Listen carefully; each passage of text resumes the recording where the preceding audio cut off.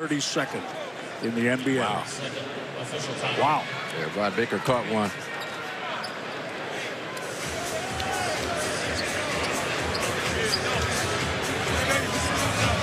Might have been his own player coming off the screen. Oh, wow. Oh, oh, wow. oh. Finally got him. Coming off a little weak side pig action off the elbow. Wow. David Fizdale going to his bench early. Noah Vonleh's also in there with Baker and Dotson. Hardaway, jump shot blocked by Henson.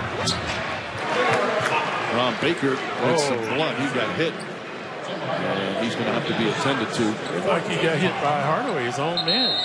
So you see Baker right there. above the forehead, right on the forehead above the eye. See his own man.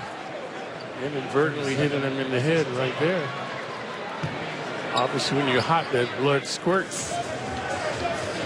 So you watch the inadvertent elbow catching him on the head. So he's going to go back to the locker room have it attended to. Roger Hines trailing.